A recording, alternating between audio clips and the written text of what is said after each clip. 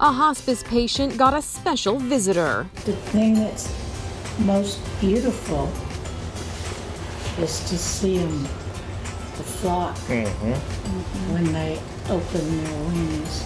Peggy Garrison loves flamingos. She pays homage to the majestic animals with the 158 trinkets and decorations she's collected throughout her life. Now that the 75 year old is in the final stages of cancer, a flamingo named Mango paid her a visit from the San Antonio Zoo.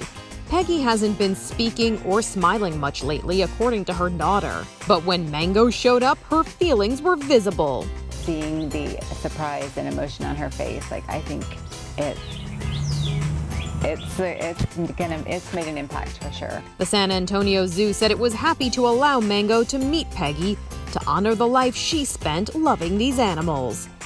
For Inside Edition Digital, I'm Mara Montalbano.